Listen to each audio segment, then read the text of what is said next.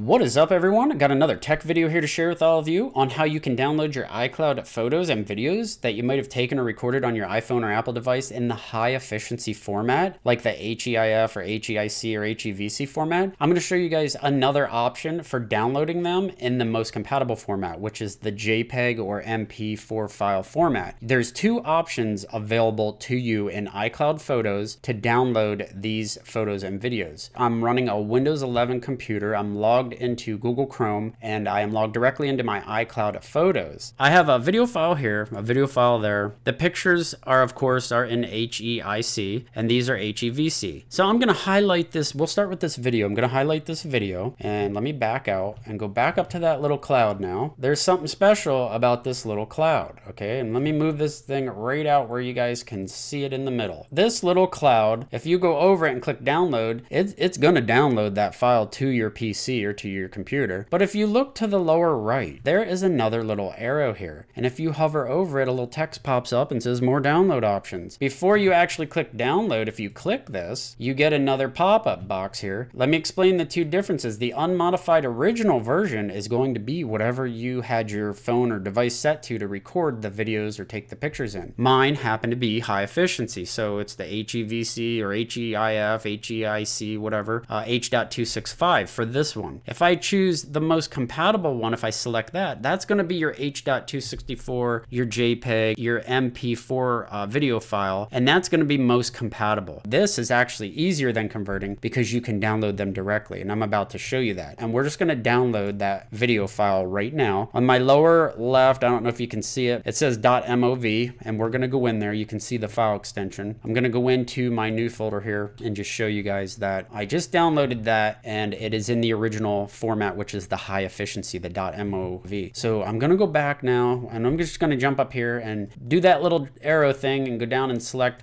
most compatible. So I went from unmodified original, I'm selecting most compatible, and I'm gonna click download again. Now you'll notice it says .mp4. It's downloading an MP4. We're gonna go back in there and look at the two file extensions. This thing in the middle is my recording. Don't, that, this thingy here doesn't apply. It's this video over here, .mov and .mp4. These are both the ones I just downloaded, and you can see this is the H.264 format, the most compatible format, and this is the high efficiency one. So you have, we didn't have to convert and we can also do that with the photos. I'm going to show you with the photos. I'm going to select, I'll select this photo first. When you go in here and if you're using this little feature, make sure you click it a couple times just so it knows unmodified original. I'm going to click download. You'll notice down there HEIC, high efficiency. So let's go into the new folder and take a look at this. So there it is in HEIC now, that photo. I'm going to go up here and I'm going to choose most compatible. I'm going to back out, click download. And if we look down here, you see it says .jpeg. So it is working like it's intended to work. And now you'll see I have both of those files and I didn't convert anything. I have the HEIC version and the JPEG version. So this is an option that you guys have available to you in iCloud Photos to download those videos and photos in those different formats if you just know that little thingy's there. So I'm hoping that helps some of you out. And I just want to share something with you guys. There are file extensions here that you might not be seeing on yours. I actually choose to have this show like the .mov, the .jpeg. How I do that is I go into this folder, basically folder options, it's these like three little dots here, and you can come down and select options. And then when you're in your folder options, um, in the center here it says view, you can choose a view, and you can come down here and uncheck hide extensions for known file types. So if I click apply, you'll see